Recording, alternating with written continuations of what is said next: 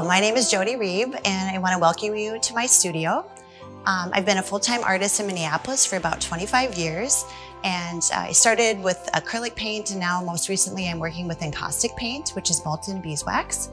My paintings are nature-based, and um, I've kind of explored that through sculptures and paintings both, and I would like to give you a tour of my process and my studio.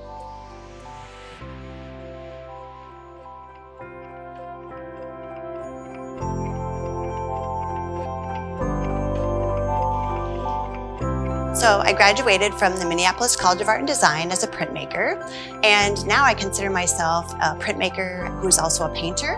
Um, so I grew to love surface as a printmaker and multiple originals. So I almost think that this is like an addition of paintings in a way. Um, and I love to push what a painting is and work dimensionally. I love that the circles are both a geometric and an organic shape. And I've worked with the circle quite a bit in my work to begin. And so then I thought, wouldn't it be fun to take them off the painting and create just the painting as a circle? And the paintings are elevated off the wall with encaustic paint and metallic paints as well. And I love the idea of being able to collaborate with the space and just really play with the color in the space and kind of just all the negative um, areas as well.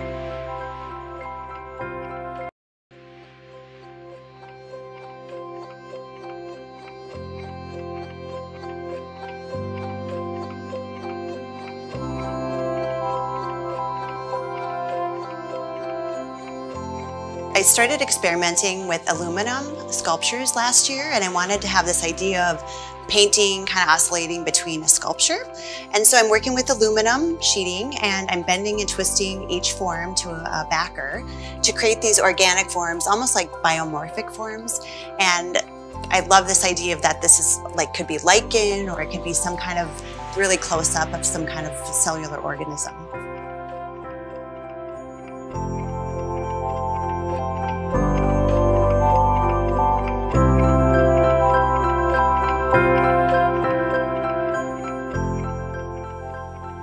So one of my favorite subject matters is the landscape and my work kind of oscillates between representational and more abstracted. So the landscape for me is, is my macro idea where my sculptures are more of a micro and the encaustic paint works so well and beautifully to, to heat up and melt. So I'm creating almost this beautiful marshy area and the landscapes are based off of photographs I take while I'm traveling.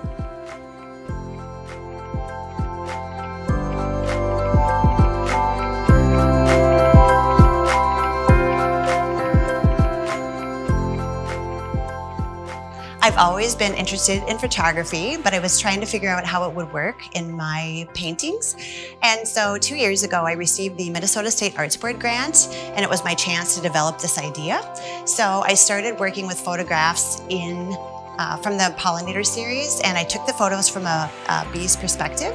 And since my paintings are made of beeswax, I wanted to use this opportunity to raise awareness about the challenges that they face.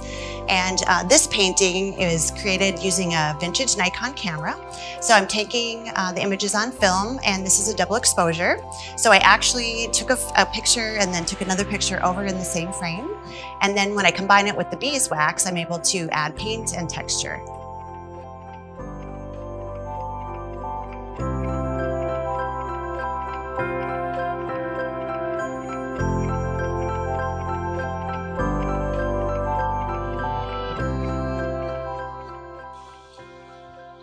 So this is a series of paintings that I'm putting on to found books. I love to use found books because the titles are showing and then I can do a series.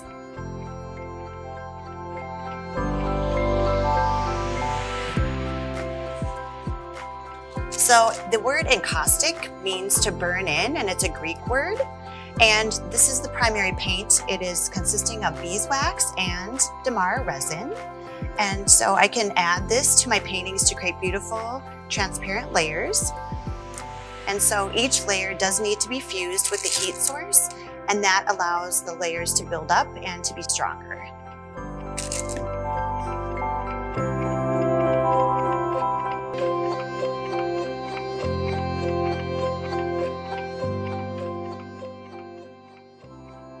What I love about this medium is that there's so many different techniques you can do with dry media, um, painting, carving, creating texture, um, adding some translucency and really building up the surface. And my brushes become this very colorful collection.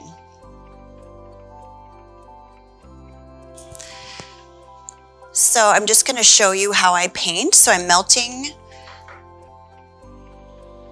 paint right here and then I'm just gonna apply it onto the surface. You can see there's building up some texture. So each layer has to be fused. And that makes the painting stronger and adheres all the layers so that when you're finished, you have one layer of paint. So a question I get asked often is, how did I know I wanted to be an artist or when did I know? And uh, I like to share this story about when I was five years old, I was making drawings on some newsprint paper with crayons. And I got this idea that I wanted to sell those through my neighborhood. So I wrapped them all up, rolled them up, and put them in a wagon and went door to door selling them for a dollar. And I sold a few drawings and, and one person just donated to me without even buying a painting or a drawing. But at that moment, I knew that I wanted to be an artist and that this was gonna be possible for me to sell my work.